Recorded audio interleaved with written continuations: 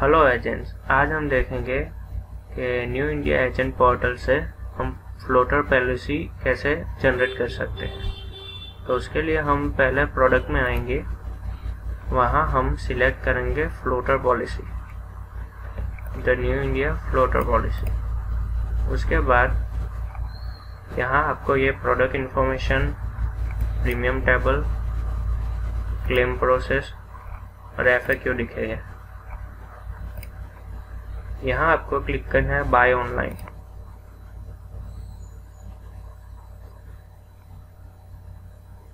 उसके बाद पहले ये आपको पूछेगा कि आपकी कोई न्यू इंडिया में पास की पॉलिसी है तो हम इस केस में क्लिक करेंगे नो। बेसिक इन्फॉर्मेशन पे क्लिक करेंगे। यहाँ आपको आपका सम इंश्योर सिलेक्ट करना है। हमारे केस में लेते हैं पाँच लाख। फिर मेंबर की इन्फॉर्मेशन डालनी होती है। यहाँ मैं मेरी डेट ऑफ़ बर्थ डाल रहा हूँ। यहाँ आप स्पाउस को ऐड कर सकते हैं चाइल्ड को ऐड कर सकते हैं पेरेंट्स को, और बाकी सारे ऑप्शन यहाँ आपको नीचे दिख रहे हैं। मैं स्पाउस को ऐड कर रहा हूँ। फॉर एग्ज़ाम्पल आपको चाइल्ड को ऐड करना है, दो चाइल्ड तीन चाइल्ड यहाँ आप क्लिक कर सकते हो। यहाँ आपको चाइल्ड की डेट ऑफ़ बर्थ डाल के ये ऑप्शन सिलेक्ट कर देना है। मैं यहाँ चाइल्ड को ऐड नहीं कर रहा। तो उसके बाद आपको आई अग्री पे क्लिक करना है और save and calculate premium so अब यहाँ आपको दिखेगा आपका प्रीमियम एक्सक्लूडिंग जीएसटी आपको यह ध्यान रखना है कि अभी इसमें जीएसटी लगना बाकी है। ये आपको एक कोड नंबर देगा, आपका सम इंश्योर्ड टोटल नंबर और यहाँ नीचे जाकर आप ब्रेकअप देख सकते हो।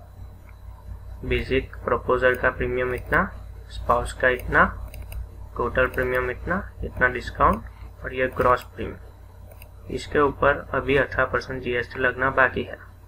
इसे क्लोज करते हैं। अब यहाँ सेवन कैलकुलेट पर क्लिक करेंगे।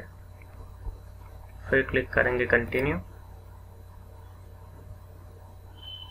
अब यहाँ आपको ये थोड़ी बेसिक चीज़ें पूछेगा, जैसे कि first name middle name last name हमारे केस में जाते हैं mister Kishan.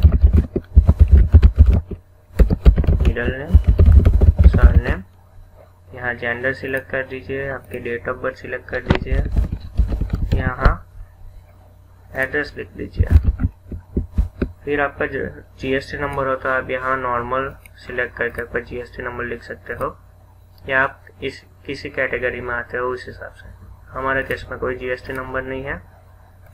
यहाँ हमारा स्टेट यहाँ हमारा पिन कोड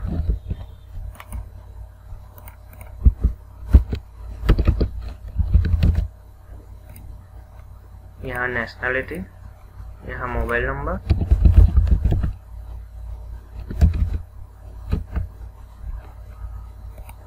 यहाँ आप अपना ईमेल आईडी डाल सकते हो।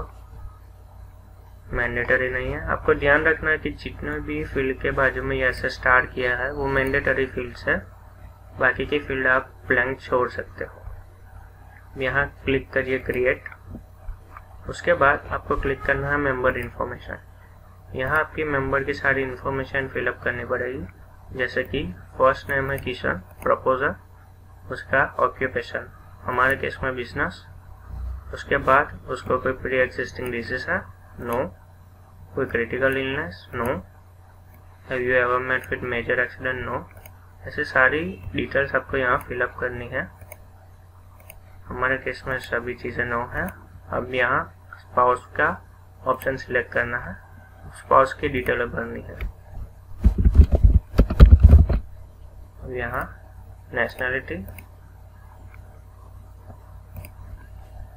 female pre-existing disease, no. Illness, no. Accident, no. No no. Okay.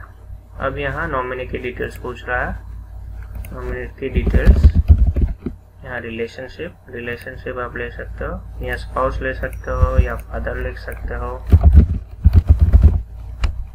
फिर कोई आपका एडिशनल कवर लेना हो तो आप यस कर सकते हो। उसके बेस पर प्रीमियम कैलकुलेट होगा। हमारे केस में नौ लेते हैं। फिर टीपीए की डिटेल्स टीपीए की डिटेल्स आप चेंज कर सकते हो। जैसे कि मैं यहाँ चेंज टीपीए कर रहा हूँ। अभी बाय डिफ़ॉल्ट हमारा आ रहा है हेरिटेज अब यहाँ health insurance TP of India limited भी ले सकते हो। फिर क्लिक करते हैं डिक्लेरेशन पे। उसके बाद क्लिक करेंगे सेव अब आपका basic premium total GST and net premium आ चुका है। अब आपको इतना प्रीमियम पेड करना फिर से यहाँ आके ब्रेकअप देख सकते हो। उसके बाद आपकी पॉलिसी रेडी हो गई है, अब आपको अप्रूव एंड पे करना है। यहाँ अप्रूव एंड पे पे क्लिक करिए, फिर क्लिक करिए कंफर्म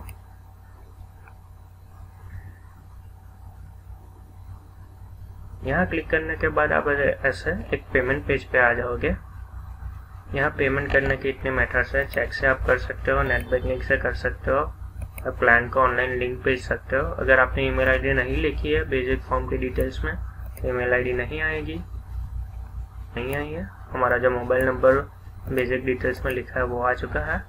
हमारा नेट प्रीमियम इतना है। अगर इन केस ऑफ़ चेक है तो यहाँ चेक नंबर हम डालेंगे। चेक की तारीख बैंक का नाम और बैंक की ब्रांच हम यहाँ ऐड करेंगे। उसके बाद हम यहाँ कलेक्ट प्रीमियम पर क्लिक करेंगे। तो हमारी पॉलिसी जनरेट हो जाएगी। Thanks for watching